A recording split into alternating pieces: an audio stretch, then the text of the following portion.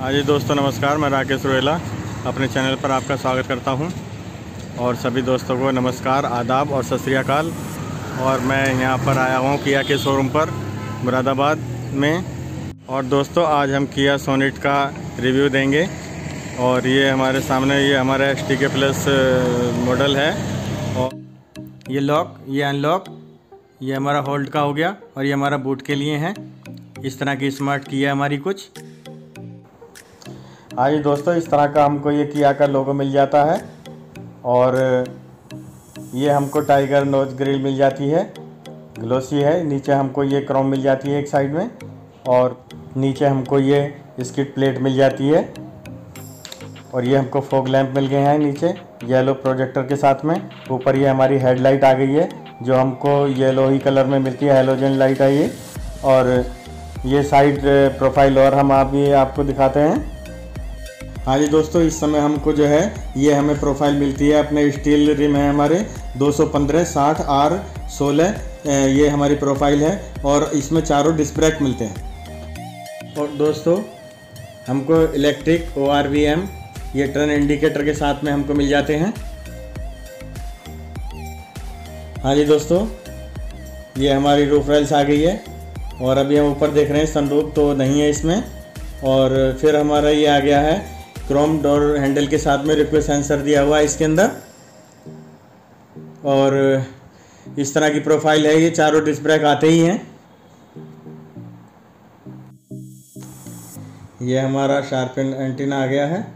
उसके बाद, फिर हम ये देख रहे हैं, अपने स्कॉलर है। फिर यहाँ पे ये हमारी लाइट आ गई है बैक लाइट फिर नीचे आते हैं। तो नीचे आने के बाद हमारा एक किया का लोगो हाँ जी दोस्तों, बैक प्रोफ़ाइल इस तरह की नज़र आ रही है। फ्यूल टैंक हमको इसमें 45 लीटर का मिल जाता है और ये टेल लाइट का हमारा पूरा सेटअप हमको हेलोजन मिल जाता है। और ये देखो, ये हमको जो किया के बैजिंग के साथ में इस तरह की लाइट की हमको प्रोफ़ाइल नज़र आ रही है। फिर हम दोस्तों, ये किया की बैजिंग और ये हमारा बैक कैमरा। ये सोनिट की बैजिंग। तो हमें इसमें बूट स्पेस मिल रहा है 392 लीटर का और ये हमारी ऊपर ये पार्सल ट्रे आ गई है। इस तरह की कुछ बहुत मज़बूत है और काफ़ी अच्छा स्पेस हमको है बूट के अंदर। हाँ जी दोस्तों, पिछले डोर पर आ चुके हैं हम और हम देख रहे हैं ये। अभी यहाँ पर हमारा ये बटन आ गया है शीशे के लिए। इधर ये सब प्लास्टिक क्रोम और ये सब आ गया है हैंडल का। यहाँ पर भी काफ़ी स्पेस है, ये हमारे स्पीकर्स आ गया है। और और ये हमारी कुछ इस तरह की ये सीट है फैब्रिक सीट है ये। और ऊपर हम देख रहे हैं, ये एडजस्टेबल नहीं है। ये जो है बिल्कुल फिक्स वाले हैं हेडरेस्ट हमारे। इस तरह का स्पेस यहाँ पर मिल रहा है, मेरे को छः फिट मेरी हाइट है। उसके हिसाब से बहुत हमको यहाँ पर स्पेस है। ये हमारे दो एसी वेरिएंट आ गए हैं। और ये हमारा एक चार्जिंग सॉकेट आ गया है 12 वोल्ट का। यहाँ हम सामान रख सकते हैं। ये ऊपर हमको लाइट मिल रही है। लाइट पे लिए हमारा हैंडल आ गया है। दोनों साइड में दिए हुए हैं ये। पीछे से हम जो देखते हैं, कुछ इस तरह की हमको लुक नज़र आती है। बहुत शानदार लुक है, बहुत ही शानदार लुक है। हाँ जी, ये हमारा request sensor door handle chrome के साथ हमको यहाँ पर मिलता है। फिर उसके बाद हम यहाँ आते हैं आगे तो काफ़ी स्पेस हमको यहाँ मिल जाता है। ये हमारे सारे बटन जो हैं, हमारे ओ आर बी एम के और जो है सारे कंट्रोल्स यहीं पर दिए हुए हैं। ये बहुत अच्छा हैंडल है क्रोम के साथ। नीचे स्पेस काफ़ी अच्छा दिया हुआ है। ये हमारा स्पीकर्स आ गया है। दोस्तों, ये हमें मैनुअल सीट मिल जाती है। ऊपर नीचे कर सकते हैं इसकी हाइट को। आगे पीछे भी कर सकते हैं। और ये हमको पुश बटन आ गया है।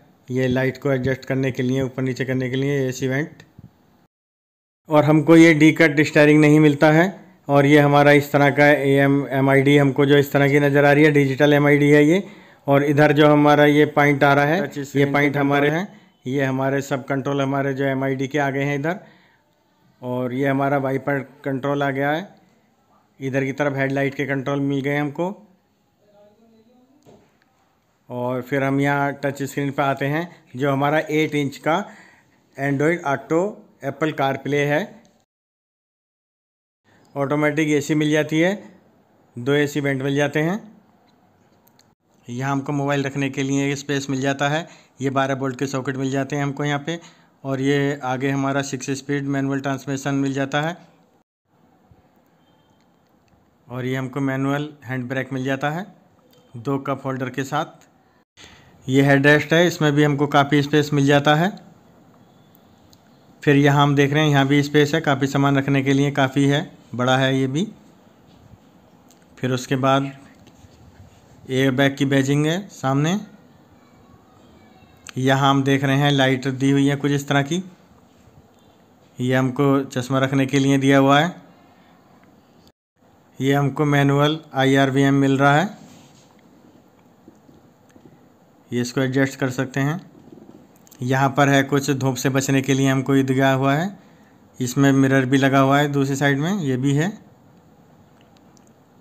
ये हमको हैंडल मिल गया पकड़ने के लिए, इस साइड में नहीं है। ये हम इसको स्टेयरिंग को इस तरह से तो कर सकते हैं, ऊपर नीचे नहीं कर सकते। दोस्तों, हमें इसमें डीजल इंजन के साथ में। 1500 सीसी का हमको इसमें इंजन मिल जाता है। 113 बीएचपी की हमको पावर मिल जाती है। 250 न्यूट्रोमीटर का टॉर्क मिल जाता है। वीडियो देखने के लिए आप सभी का धन्यवाद। Thank you so much